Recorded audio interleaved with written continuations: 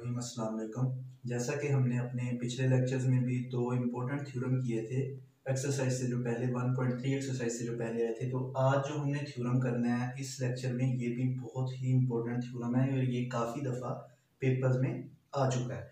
तो इसका यूज़ भी है, आपकी सिर्फ़ इस एक्सरसाइज में नहीं, इससे हट के third year fourth year even के एम में भी इस थ्योरम का काफ़ी यूज़ आता है।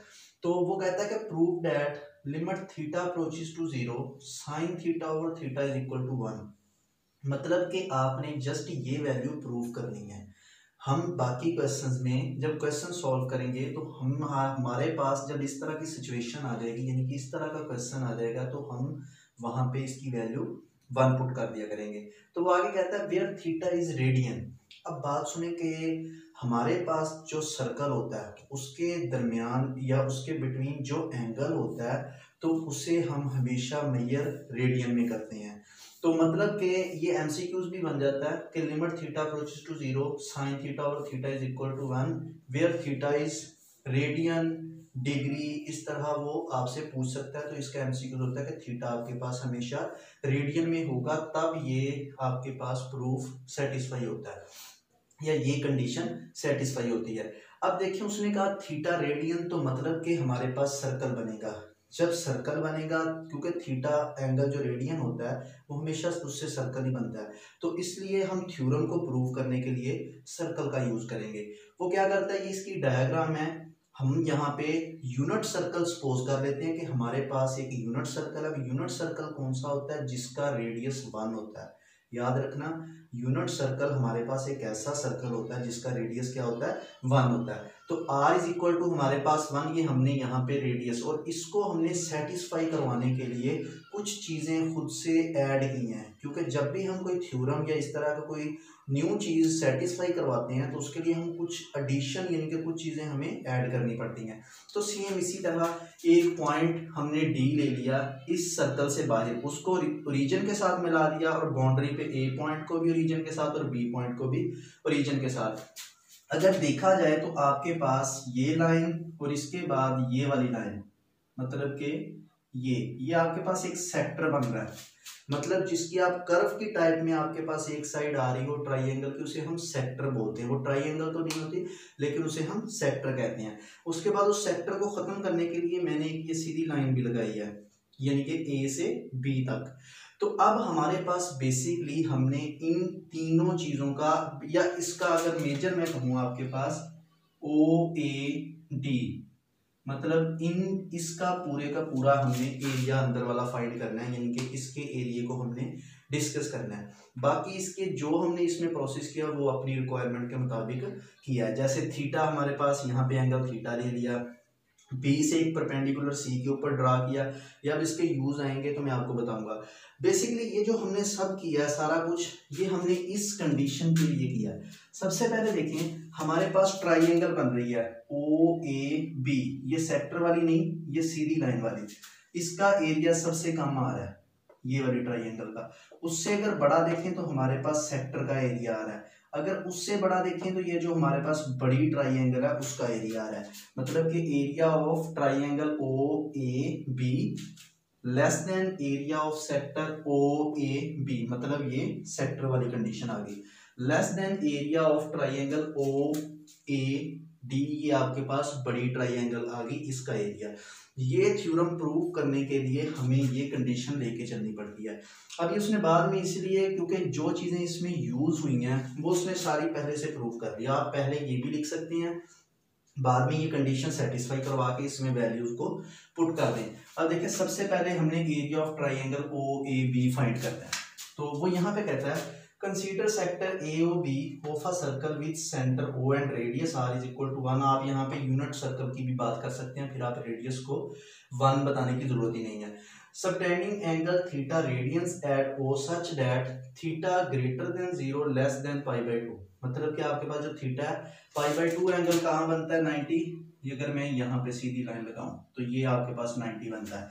तो हम कहेंगे theta less than pi by two अब सबसे पहले area of triangle O A B वो फाइंड करता है। तो एरिया जब हम फाइंड करते हैं तो हम कोई सी ट्राइंगल की दो साइड्स का क्रॉस प्रोडक्ट साथ वन ओवर टू तो one over two O A cross product B C अब देखें, इस ट्राइंगल में तो हमारे पास बी सी आता ही नहीं है। मतलब कि जो आपके पास ए बी है, ये अप्रोक्सीमेटली इक्वल होगा इस बी सी साइड के।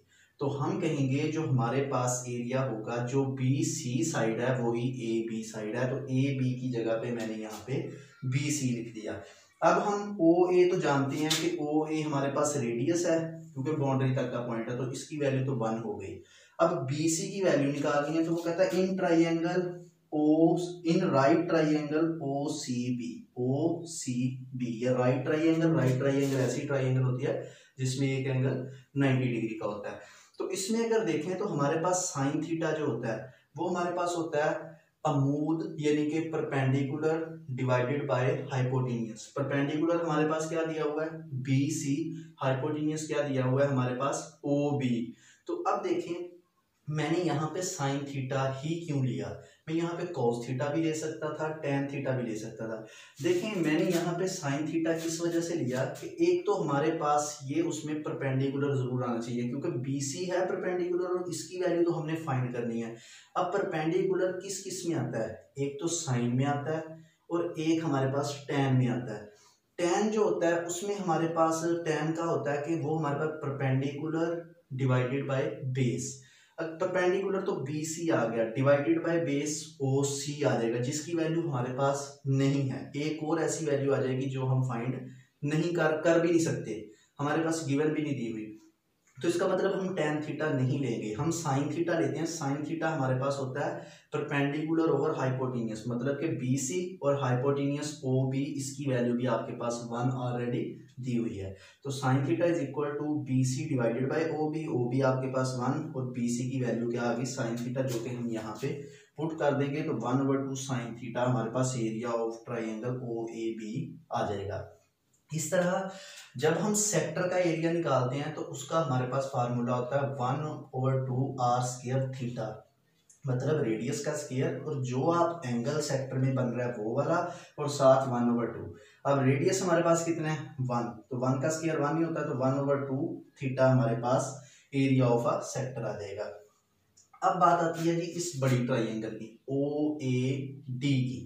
तो वो कहता है सॉरी ओ ए सी की हम बात करते हैं यहाँ पे। ओ ए डी हम इस ट्राइंगल को अब डिस्कस करते हैं। तो देखिए ये हमारे पास है one over two O A multiply by A D मतलब कि एक आपके पास ओ ए आ गया और मल्टीप्लाई बाय आपके पास क्या आ गया? ए डी मैंने दो उसकी साइड ले ली। अब देखें ओ ए की वैल्यू तो आपके पास है वन है। ए डी की वैल्यू नहीं है। अब ए डी की वैल्यू फाइंड करने के लिए हम यही वाला प्रोसेस फिर दोबारा करेंगे। वो कहता है in right triangle O A D ये बड़ी वाली ट्राइंगल अब हमें वैल्यू चाहिए ए डी की। तो बात फिर आगे परपेंडिकुलर की वैल्यू चाहिए। एक हम साइन यूज़ कर सकते हैं, एक हम टेन यूज़ कर सकते हैं। अब देखें साइन जब हम यूज़ करेंगे तो साइन में हमारे पास परपेंडिकुलर ओवर हाइपोटीनियस आता है। परपेंडिकुलर तो आ गया जो हमने फाइंड करना है। हाइपोटीनियस ओ डी है। ये इसकी वैल्यू तो हमारे पास गिवन ही नहीं है। मतलब कि हम साइन इसमें नहीं यूज़ कर सकते। टेन यूज़ करेंगे। टेन में हमारे पास परपेंडिकुलर ओवर बेस परपेंडिकुलर हमने फाइंड करना है और बेस ऑलरेडी हमारे पास गिवन दी हुई है ओ ए तो ओ ए वन आ जाएगा और ए डी वैसे ही A D is equal to tan theta उसकी वैल्यू हम यहाँ पे पुट कर देंगे। तो area of triangle A O D is equal to one over two tan theta आ जाएगी। अब तीनों वैल्यूज़ फाइंड आउट कर ली। तीनों वैल्यूज़ को यहाँ पे पुट कर दें। ये एरिया फ़र्स्ट जो हमने फाइंड किया, ये सेक्टर का एरिया आ गया और ये हमारे पास एरिया इस बड़ी ट्राइंगल का आ गया। अब देखें वन ओवर टू इसमें भी है, इसमें भी है, इसमें भी है तो ये सब में से कैंसिल हो जाएगा टू बाकी बचेगा sine theta less than theta less than tan theta होता है sine theta over cos theta अब आपको चाहिए वैल्यू किस तरह की? साइन थीटा ओवर थीटा की। मतलब कि आप यहाँ पे हर यहाँ पे थीटा दिया हुआ है तो आप साइन थीटा यहाँ से खत्म कर दें, हर वैल्यू के नीचे डिवाइड कर दें साइन थीटा इसको भी डिवाइड करेंगे तो one theta over sine theta यहाँ पे भी one over sine theta dot sine theta over cos theta अब यहाँ पे आपको एक कंडीशन साथ बतानी पड़ेगी, ये वाली। Zero less than theta less than pi by two so sine theta is positive आपको पता होना चाहिए कि अगर आपके पास थ्री लेस देन फोर हो अगर आप इसको किसी माइनस वाले नंबर से डिवाइड कर देंगे, यानी कि नेगेटिव नंबर से डिवाइड करते हैं तो ये इनक्वालिटी चेंज हो जाती है। जैसा कि मैं माइनस वन के साथ इसको डिवाइड करता हूँ तो ये माइनस थ्री हो जाएगा, ये माइनस फोर हो जाएगा। ये इक्वालिटी इस तरह हो जाएगी, क्योंकि हमें पता है माइनस थ्री बड़ा होता है माइनस फोर से। मतलब कि जब भी आप नेगेटिव नंबर से मल्टीप्लाई करें या डिवाइड करें तो आपके पास इक्वालिटी क्या हो जाती है? चेंज हो जाती है। अब यहाँ पे उसने ये कंडीशन क्यों बताई? देखें थीटा ग्रेटर देन ज़ीरो है less than pi by two है। वो कहता है कि जब आपके पास थीटा किस क्वाड्रेंट में दिया हुआ है फ़र्स्ट क्वाड्रेंट में, और फ़र्स्ट में आपके पास साइन क्या होता है? पॉजिटिव होता है। यानी कि अगर आप साइन से डिवाइड भी करते हैं तीनों वैल्यूज़ को तो इक्वालिटी इनक्वालिटी जो आपके पास दी हुई है, वो चेंज नहीं होगी। इसीलिए ये साथ उसने यहाँ पे गिवन कंडीशन बताई है।